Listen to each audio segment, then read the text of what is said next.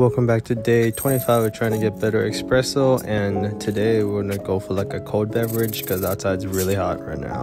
So halfway into filming the tripod like broke so this puck prep is kind of scuff. So yeah, I wouldn't be too surprised if there's like a lot of channeling. And to get this video over it, I'm gonna just dump some almond milk in and we'll call it a day. I'm gonna have this coffee with a coconut cream pie because everyone knows pie makes everything better.